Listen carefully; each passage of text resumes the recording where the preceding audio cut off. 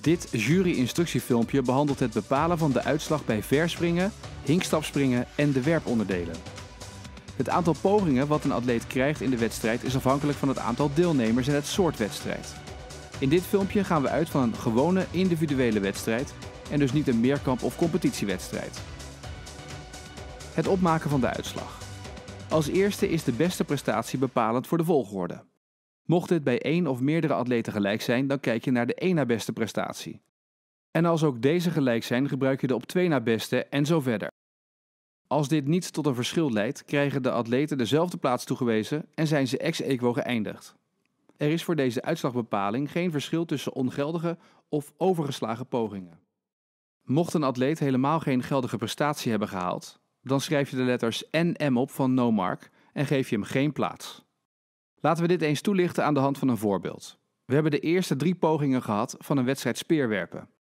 Als eerste bepalen we nu de beste prestaties van de atleten van deze eerste drie pogingen. Zoals je ziet heeft atleet F geen geldige prestatie behaald, zodat we daar NM op schrijven en een streepje bij de plaats. Deze atleet krijgt dus geen rangschikking.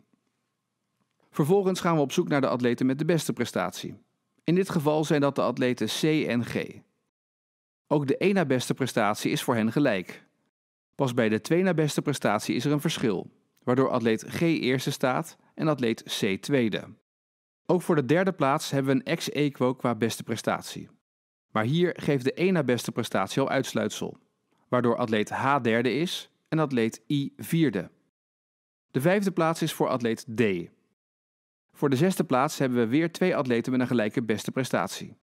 Aangezien geen van beiden een op één na beste prestatie hebben, krijgen ze allebei plaats 6 toebedeeld. Ten slotte strijden de atleten E en J om plaats 8, welke gewonnen wordt door atleet E die een betere tweede prestatie heeft, zodat hij achtste is en atleet J de negende plaats krijgt.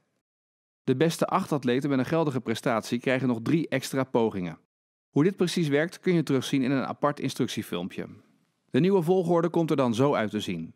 Hier voor het gemak even opnieuw gesorteerd. Bij gebruik van een papieren jurylijst is dit uiteraard niet mogelijk. De wedstrijd gaat verder en na afloop van alle pogingen herhaal je de procedure bij het opmaken van de einduitslag. Als eerste schrijf je de beste prestaties over de hele wedstrijd op. De prestaties uit de eerste drie pogingen tellen dus ook gewoon mee. En daarna bepaal je de plaatsen. Bij gelijke beste prestaties kijk je weer naar de één na beste prestatie en verder. Je ziet dan dat je in dit geval een ex-eco krijgt voor de eerste plaats. Bij verspringen, hinkstapspringen en de werponderdelen blijft dit zo en wordt er geen barrage gesprongen of geworpen. Een barrage kun je wel krijgen bij hoogspringen of polstok hoogspringen. Hiervoor is een apart juryfilmpje beschikbaar. Ook de overige plaatsen kunnen we nu invullen, waarbij er geen tweede plaats is door de ex-equo op de eerste plaats.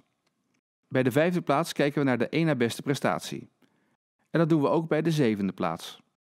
Van de atleten die maar drie pogingen hebben gehad, konden we in een eerder stadium al de beste prestatie en plaats opschrijven. Wat uiteindelijk dit als einduitslag oplevert. In dit filmpje zijn de belangrijkste aandachtspunten voor het opmaken van de uitslag bij verspringen, hinkstapspringen en werponderdelen besproken. Veel plezier bij het jureren.